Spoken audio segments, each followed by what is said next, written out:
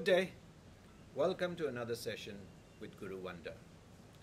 I'm your host, Gurvinder Singh. It's always a good idea to start anything with a bit of humor. What is the difference between men and boys? The cost of their toys. What I mean to say is that uh, there is no difference between, there's not much difference between uh, children and adults. If one is observant and sensitive, learning can come from almost um, anywhere, even the most unusual of places. One of my most impactful behavioral, human behavioral lessons came from observing our children. Uh, in a sense, adults are just overgrown children, except that they are more transparent, they are more vocal, and they are they, they react instantaneously uh, to any uh, any any stimuli.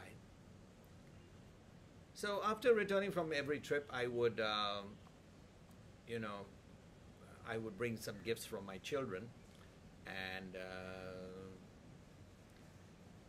well, the children came from school at different times. So the first son would get, the younger son would get a, a gift. He'd be delighted, he would hug me and kiss me, and he would be very happy. And when my elder son Mohit came later on, and I gave him the other gift, there was a fight because everybody, he was unhappy with what uh, the other guy got. They would quarrel and grumble almost endlessly and uh, cause all around tension uh, before eventually settling down.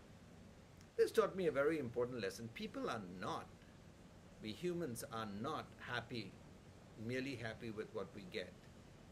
We are, in a sense, but we grow unhappy when we compare what somebody else has received. So I thought, what's the best way to go about it? I designed and instituted a, a reward system based on their academic uh, performance and how they did their chores, how they performed their chores, and uh, how they fulfilled their responsibilities. And it worked out pretty good. And to my surprise, I uh, I noticed that uh, at work, the same problem. When I promoted or rewarded employees, I always found that people were unhappy with what the other person got. And I asked myself, it worked for my children, why can it not work for adults? So, earlier I would, uh, uh, you know, treat everybody as equal and everybody got the same thing, sharing the rewards equally. And surprisingly, this made no one happy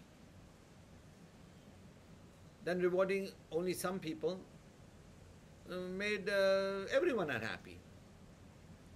So I modified our organizational human resources practices, uh, instituting performance-based rewards, rather than rewarding team members on a uniform or an ad hoc basis. Minimizing the weightage of uh, factors like behavior and personal relationships, we, we were we witness a remarkable uh, uh, and a positive change in performance from our team members. Now, appraisals can be either uh, objective, where we evaluate performance, or they can be subjective, where we evaluate personality and behavior. Objective appraisals uh, reveal who are performing and those who are not, and thus help to determine promotions and rewards a bit of uh, a bit of a topic on, uh, I mean, a bit of explanation on the use of appraisals. Why are appraisals used? Well, appraisals are being are to be used by organizations, uh, while they also help individuals and even families. Uh, they help to clarify three things. They help to do three things: identify weaknesses in the individual, identify weaknesses in the organization, it's, it's important to note that often most of the non performance of individuals can be attributed to weaknesses in the organization, not permitting or not facilitating uh, the, uh, the best performance of people. And the third thing to do is identify possible uh, steps to be taken to improve the individual and the organization to become more effective. So, effective appraisals uh, help assure uh, a meritocracy. That is where people are judged on their merit. Uh, recognizing merit helps motivate uh, employees. Uh, it can reduce the possibility of a it, it reduces the possibility of a, a, a good performer being ignored or a non-performer being unduly rewarded.